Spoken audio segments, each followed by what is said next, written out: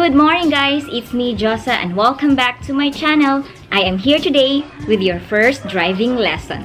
Driving an automatic car is easy once you get used to it. Follow these steps and give yourself plenty of time to practice. You will be on the road in no time.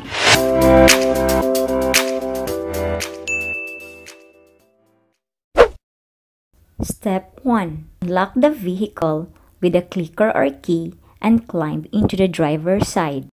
2. Adjust your seat in any direction you are able to or find necessary so that you can comfortably reach any controls and see well out of windows. Move the mirrors so you can see behind and to the sides of the vehicle clearly. Identify the car's blind spots before you start driving so that you can check them before making any turns or lane changes. 3. It is essential to find the accelerator and brake pedals, the steering wheel, the gear selector lever, light controls, and the windshield wipers before you begin. 4. Fasten your seatbelt.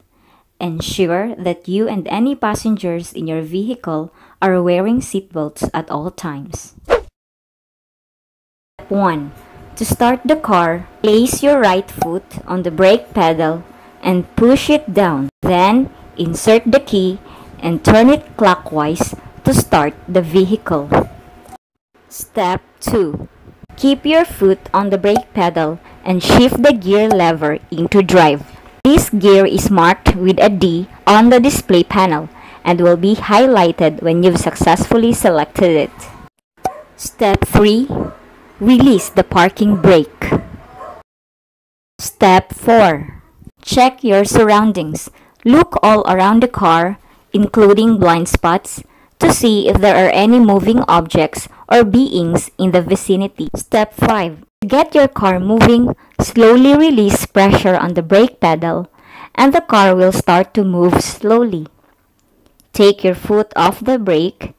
Use the same foot to press the gas pedal gently and the car will begin to move faster. There is no need to change gears in relation to speed in regular road driving. Step 6. In drive, turn it to the left to turn the car left and turn it to the right to turn the car right.